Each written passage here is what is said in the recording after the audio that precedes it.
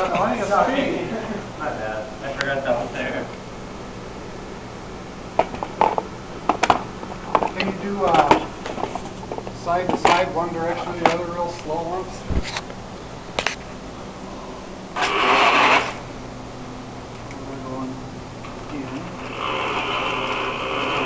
Yeah, that's right. But the the back one's turning more than the the front one.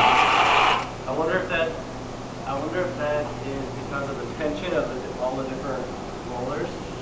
Yeah, probably. I'm still videoing. Oops.